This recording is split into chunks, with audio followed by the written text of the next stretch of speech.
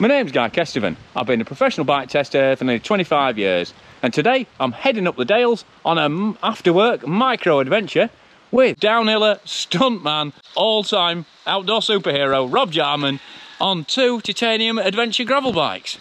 The Titus Silk Road and the On One Rocky Road. So hopefully the weather's going to clear up and we'll have a cracking night out. Sorry, Rob's just waxing lyrical about how having a weight on the back because he's loaded up more rear heavy. It's just making the forks flow a bit nicer. But to be fair, these are really flowing well anyway. That's why you go for titanium. That and the fact they're significantly lighter than a steel bike. I mean, compared to the Bootzipper, which is steel frame, steel fork, I think these are four kilos lighter before they're loaded. I think silk that Rob's on is 11 and a half. This is 11.7. Plus you've got that, I mean as good as the Bootzipper rides, you've got that carbon fork smoothness and then the spring of the titanium. These are flowing along beautifully. I can hear my tin mug going, that's for sure. Yeah, on the angles they're fairly tight. 70 degree head, 74 seat. So, you know, they're agile rather than docile, but still doing nicely through a little bit of single track. I have to say, I'm surprised how forgiving they are. And here we are, looking about on the school night and back in time for work tomorrow. This is ace. Loving this little mini adventure. Just, yeah, keep being blown away how smooth these are over the rocks.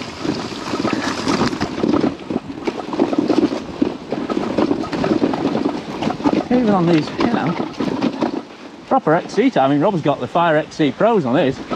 Got a bit more grip, but even on those, because you got that little bit of compliance, happy days. So, just stopped off for uh, a bit of tea in uh, Pateley Bridge at the pizza place. So, uh, bikes are going great so far you know nothing's come loose really smooth and uh, yeah great having that carrying capacity as well.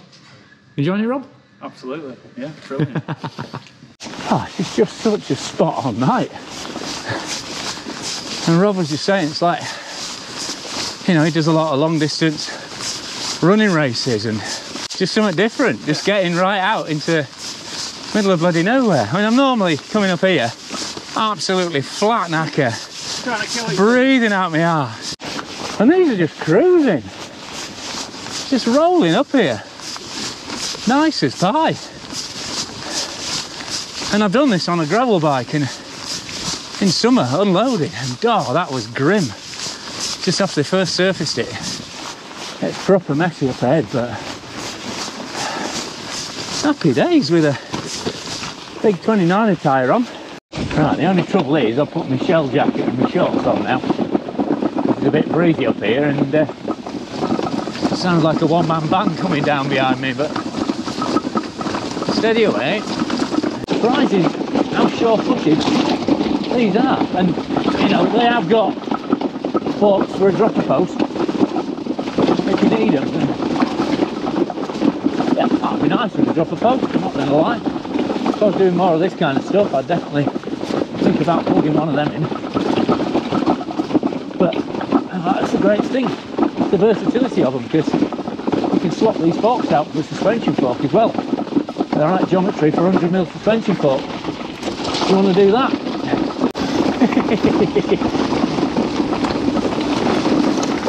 like back when we started. no suspension. We didn't have disc brakes then, we'd have been just careering off down here into the distance. Mind the rabbits. And Rob's got us a nice little uh, Airbnb down the bottom by all accounts. Right. I think this is it. Our hotel for the night. Look at that. Five star, I reckon that, Rob. Nice and dry. Time to get a brew on. Got my little fire maple stove. Tell you what, Rob, this is cracking accommodation. There we go. Brew on. Rob's on the quality whiskey there. Yeah. A nice little blend, I believe. From Murray at uh, Glentress Hotel. Very Out nice. there for a bite lunch. Cheers for that, lad. Nice and sweet. Oh, I can smell that from here. That's nice. I can There taste a go. hint of orange in that. Maybe to be fair, I'm amazed. I'm amazed we can't taste a major heap of sheep shit in here. I thought this was going to be absolutely migging. And what have you learnt from riding gravel today Al, compared to normal bikes? It's a proper interview, this, Rob. and uh, I've just really, it's just been really mellow, actually. Yeah, surprisingly smooth. Just, you know, take it steady away. You know, there's no suspension on them and you don't want to rattle your panniers off. So, yeah. But actually, we've covered ground really, really quickly. But just, you know, without getting ourselves into a steaming stupor or hurting ourselves. Just being really mellow, just catching up with Rob, having a great chat. And now we're here. This is fantastic. You know, bit of whiskey, bit of sleep, and ready to go again in the morning. Spot on.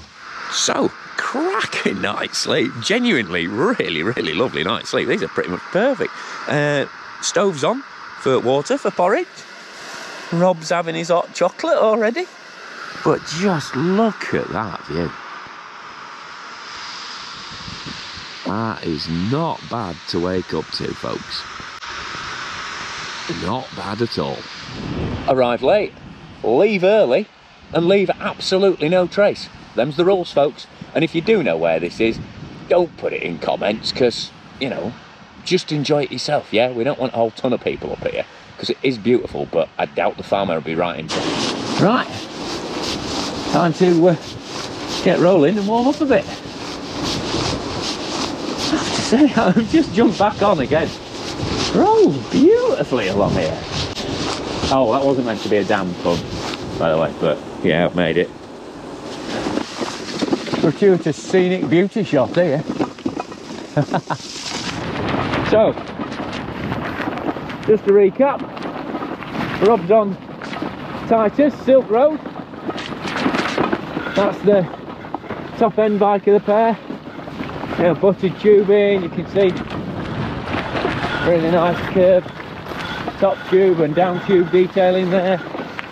More CNC machine detailing as well on the stays so chain stays are a bit shorter.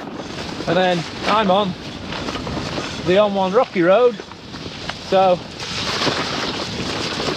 plain gauge tubing but all the same features pretty much uh, you know bag mounts full triple bottle mounts and uh, then either standard conventional rack mounts or uh, that triple bolt rear rack mount as well which uh, they'll be doing a specialist rack for. So both fully equipped adventure bikes and of these really smooth titanium frame.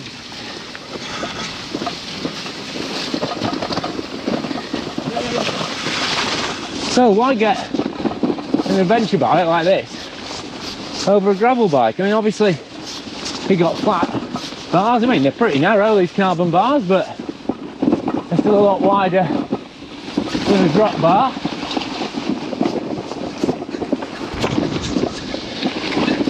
And you've also got a lot more tyre room.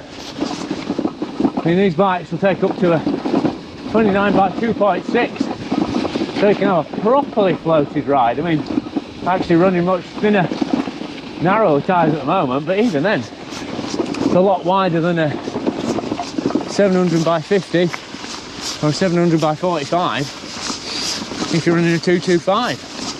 So, just a slightly more upright position as well for cruising, you know, rather than getting your head down and going a bit faster. So, you know, the angles are actually pretty similar on these bikes compared to, you know, something like the Titus Gold Rush. So, it's just that, you know, a little bit more wheelbase, a little bit more bar width, and shorter stem and stuff like that. Just makes them a little bit more controllable and capable off-road. So, you know, and it gives you a little bit more insurance if it's rocky as well. You're less likely to pinch a tube or blow a tyre. Because there's more rubber and air underneath. This SX Eagle gearing really is a help when it comes to winching a loaded bike up these steeper sections. But again, lovely pedaling feel. From the titanium, it's funny. You have to push these bikes through a gate. Suddenly very aware of the weight we're carrying. But when we're just pedaling along, happy days. Rolling nicely, thank you very much. And I have to say, I am really impressed how smooth this Selcof carbon fork is, even with it bagged up. And tubed rather than tubeless setup. Rolling along, you know, impressively forgiving. And it's long enough that you can just slot a suspension fork straight in there if you want.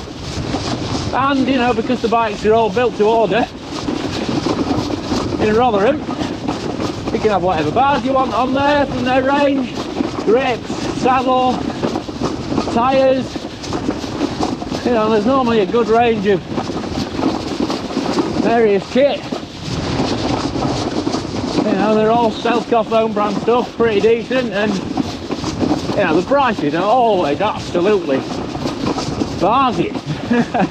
you know, not only the frames really, really good value, because they work with the vendors to source all the best deals they can, but you know, they're always on the lookout for the best deal on componentry as well. And because they've got that reputation, people actually go to them and go, right, I've got this. You a very good price. How many do you want? And because, you know, such a well-established company, and they've got some proper financial horsepower behind them, they can just buy in bulk, pass those savings on to you. Happy days! Even if the weather's getting a bit grim up here now. Who needs suspension anyway? When you got a bit of a roll on, smooth things out pretty nicely. The only thing I should definitely have done is fitted a fender because the spray is just burying the camera. So probably going to go into Mudo vision shortly, but it takes me right back bombing down stuff like that without suspension, but it's a lot easier on 29er wheels with disc brakes than it was on 26 on steel forks with uh, cantilever brakes, that's for sure. I'd have it gone straight into this gate, I reckon, wouldn't we, Rob?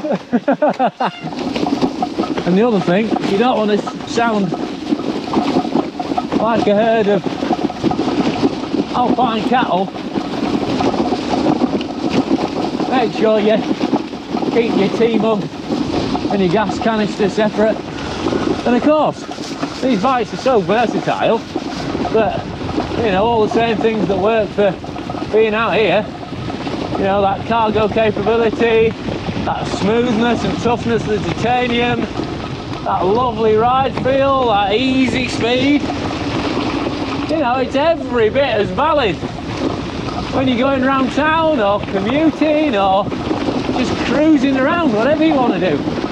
Because the angles and the fact it'll take 100 mil suspension fork means, you know, they make a decent XC bike out of this. Because 11 and a half kilos, even with SRAM SX, is not bad going at all. And of course, you can buy frame and forks as a package if you want, and build it up with, you know, some proper Gucci kit.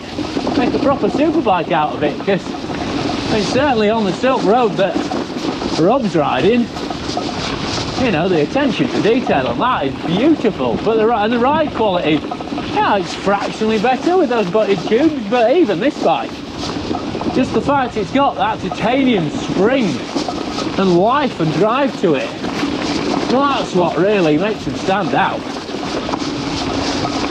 Absolutely cracking all rounders these. So, I mean, we've, uh, as you can see, the weather's kind of beginning now. Uh, not sure how much film more filming I've got done, so I hope you've enjoyed this little micro adventure feature. And uh, I'll just do a tech talk on the Silk Road and then another one on the Rocky Road. And then, uh, yeah, we'll tap home. But this has been an absolute hoot and really proved what these bikes are great for. Decent night out, Rob? Excellent. Rob keeps asking me what happens with these bikes after filming and whether he can sneak one away. I reckon that's about the best sign of uh, whether someone's enjoyed something, especially when you've ridden as many bikes as Rob has. Cracking job, as per usual, from Titus and on one.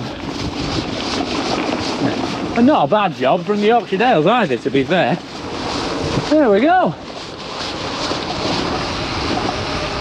I think given the weather from here on in,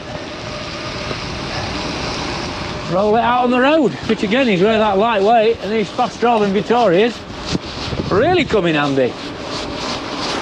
Shooting along, no bother. Get ourselves back down the dale for some breakfast. Alright. Well, for some more breakfast anyway. Already had pipe porridge and a pie up the top. Yeah, but another brew. Another brew wouldn't go down badly.